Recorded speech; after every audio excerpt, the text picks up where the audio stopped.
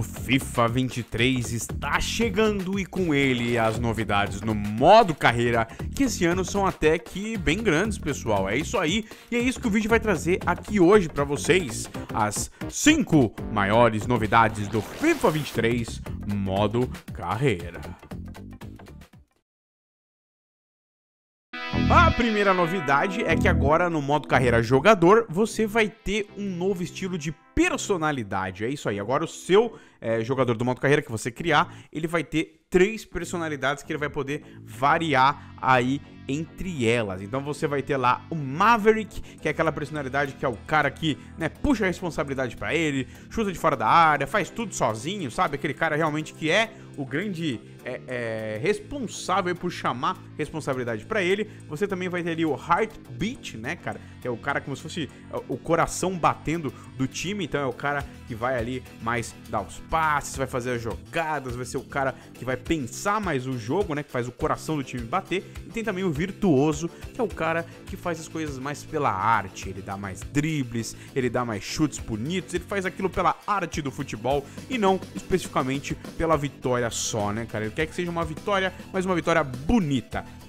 E esses três estilos de personalidade vão te trazer novos atributos, vão te trazer ali novas boosts de atributos para você deixar o seu jogador cada vez melhor. E você também aí vai ter algumas é, é, escolhas para fazer durante a sua carreira que vão te direcionar também para essas é, é, personalidades. Então não vai ser só como você se comporta dentro do campo, mas também vão ter algumas opções é, que você vai ter que escolher ali. Eles falaram durante o, o trailer ali que você vai ter que escolher, por exemplo, ah, um jogador do seu time ele acabou se lesionando. E você vai ter algumas opções do que fazer em relação ao que aquele jogador, alguma coisa com aquele jogador, né? Ir visitar ele lá no, no hospital, ou não ir visitar, mandar uma carta. Sabe, vai ter algumas opções para você fazer e elas vão determinar ali, dependendo da escolha que você fizer, ele vai ir para um lado dessas, é, dessas personalidades aí que você vai ter para escolher, né? Além disso, você vai ter também aí alguma coisa no que gastar o seu salário, né? A gente sempre ganha o salário quando era nesse modo jogador, mas nunca tinha que fazer com aquele salário, né? Agora não,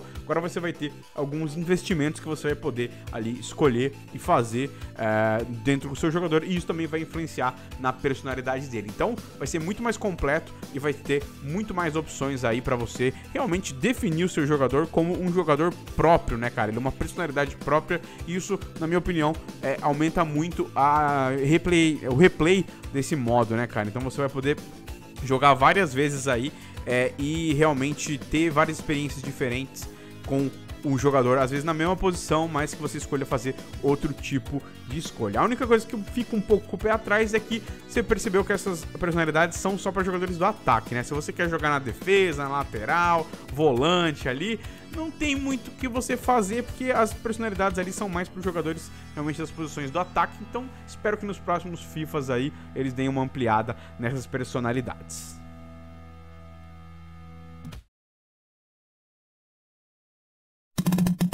A segunda novidade são os Playable Highlights. O que, que, é isso? Agora, no modo carreira, ao invés de você precisar jogar todas as partidas completas, ou se você... Te... Antes você tinha a opção, né? Ou joga a partida completa, ou você simula a partida, você não vê o que aconteceu lá, só vê o resultado. Agora não, adicionaram uma terceira é, é, possibilidade que chama isso aí, Playable Highlights, né? Ou como se fosse é, é melhores momentos jogáveis, é basicamente isso que você vai ter ali, e é exatamente isso que você vai fazer. Ao invés de você jogar os 90 minutos de futebol, você vai jogar apenas os melhores momentos. Então, o jogo vai decidir ali baseado, né, sei lá, tá jogando Real Madrid contra Bayern. O jogo vai decidir ali criar com o algoritmo, ah, esse jogo o Real Madrid teria tantas oportunidades e o Bayern teria tantas oportunidades. E ele vai botar para você jogar só essas oportunidades, só as oportunidades que vão aparecer ali nos highlights, no highlights dos melhores momentos. E você vai jogar só elas e vai ter só esse momento ali para definir as jogadas, para fazer os gols, para defender ou fazer alguma outra coisa, fazer uma jogada perigosa, tal. E só nesses momentos que você vai controlar o jogo, depois vai ser tudo simulado. Então, é uma opção bem diferente. Eu acho que dá uma vida maior pro modo carreira, porque todo mundo sabe que depois de um tempo acaba ficando enjoando, né? Acaba enjoando, principalmente para gameplay do FIFA não tá tão boa nos últimos anos, né, cara? Isso acaba enjoando bastante, então essa é uma opção bem legal aí para você jogar apenas os melhores momentos e conseguir aí é, dar uma vida mais longa esse modo carreira, conseguir jogar mais anos sem enjoar tão fácil assim é, da sua carreira.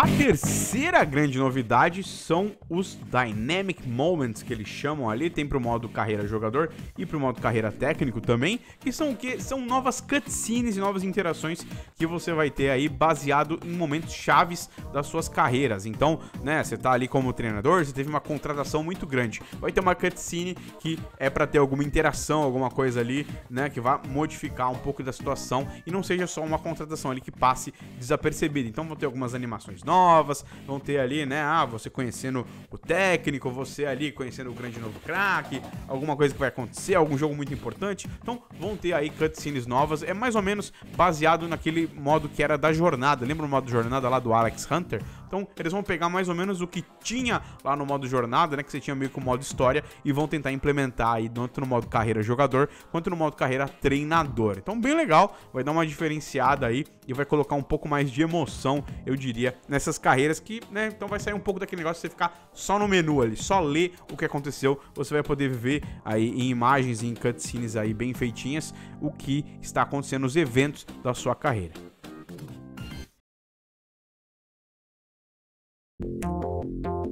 A quarta novidade é a Transfer Analysis. Isso aqui é só para o modo carreira de treinador, tá? Mas é o que? É uma análise de transferências. E o que, que isso quer dizer? Quer dizer que toda vez que você for fazer uma transferência ali, né? For comprar um jogador, for vender um jogador, o jogo vai te dar uma análise. Se você foi bem, se você foi mal, se você poderia ter ido melhor, sabe? Vai te dar uma análise baseada numa nota e você vai começar a ter um pouco mais de noção onde você errou, onde você acertou, onde você tentou ir muito longe, onde você foi muito covarde, né? Você vai ter essas opções ali para você ter uma ideia melhor de como é, fazer essas análises aí com os, os outros jogadores, né, cara? Então é legal isso, dá uma noção um pouco maior do que você fazer e dá uma gamificada aí nesse negócio de fazer as transferências, né? Porque antes era muito ali você, ah, será que eu fui bem? Será que eu fui mal? Você não sabe muito bem, né, cara? Você fica meio perdido ali no que tá acontecendo. Agora não, agora você vai ter uma noção melhor para conseguir aí otimizar todas as suas transferências aí que você for fazer no seu clube.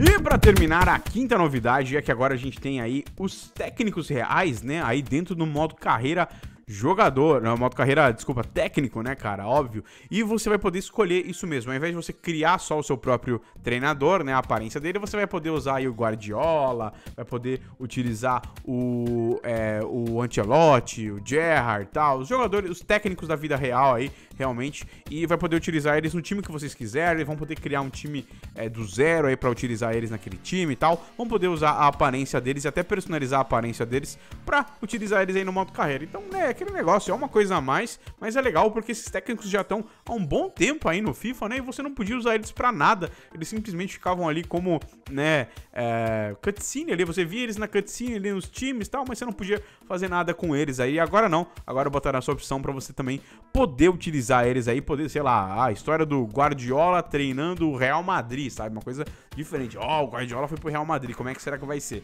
Então você vai poder recriar, é, é, recriar, né? Ou recriar uma, uma campanha real, ou criar uma campanha de um cenário maluco aí que possa vir a acontecer utilizando os técnicos da vida real, deixando seu jogo um pouco mais crível ou um pouco mais maluco, dependendo da sua escolha, né? Então é legal para quem às vezes não tá muito, ah, não quero criar meu técnico, demora muito tempo aqui ficar criando rosto, fica lá, quero só jogar, você escolhe ali o técnico rapidão e deu, né, cara? Você já tem a personalidade aí dos técnicos e a aparência deles para você poder utilizar. Então, bem legal essa novidade. Isso aí, essa aqui foram as 5 maiores novidades aqui do FIFA 23 modo carreira. Deixa aí nos comentários o que você achou, se você gostou delas, se você não gostou, se você tá esperando muito aí pelo FIFA 23, se você não tá, quero saber a opinião de vocês. Também não esquece de deixar aqui nesse vídeo aquele seu joinha maroto para ajudar aqui na divulgação. Também não esquece aí de seguir as nossas redes sociais e também não esquece de se inscrever no canal, clicar no sininho e acompanhar todo outro conteúdo aqui do canal da Joinville Games, beleza? Então é isso aí, vou ficando por aqui. Um abraço para todo mundo e também. EA Sports. It's in the game.